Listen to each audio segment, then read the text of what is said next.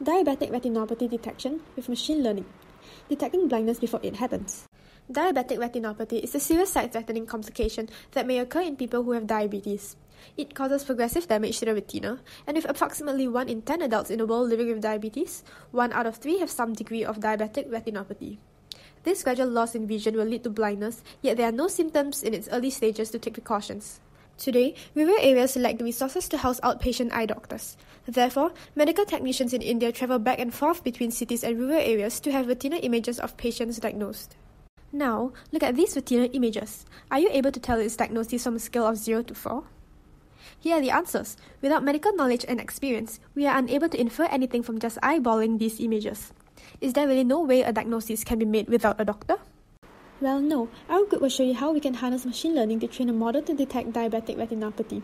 Machine learning allows us to use past retina images to predict the diagnosis of new retina images based on what the model has learned. Ideally reducing lifelong blindness induced by the condition, this is a faster and more cost-effective method for diabetic patients, especially those residing in rural areas. Our dataset contains about 35,000 retina images from different clinics, and these images were taken with different cameras and image conditions, contributing to a wider variety and noise in the dataset. In general, diabetic retinopathy is indicated by the presence of white patches in the retina or a higher density of blood vessels. Moving on, this is a brief overview of our image engineering. We reduce the noise in the images through Gaussian blur, standardize the radius of the circle in each image, and lastly, we place the black borders in the image by the mean pixel value of the retina. The model that we decided to use was convolutional neural networks, also known as CNN. It is a popular deep learning model that is especially effective in image classification.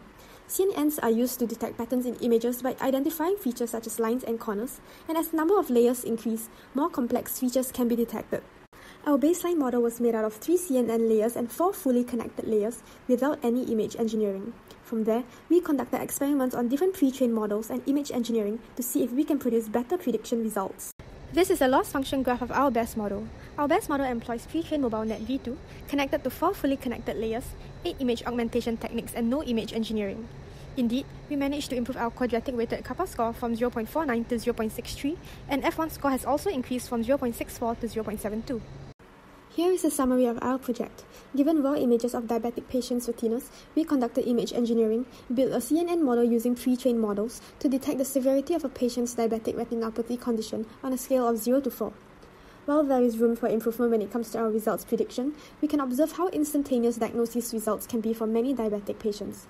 In the near future, the tiresome commute between cities and rural areas for diabetic retinopathy will be over. Potentially, training machine learning models on retina images can be extended to detecting glaucoma and macular degeneration.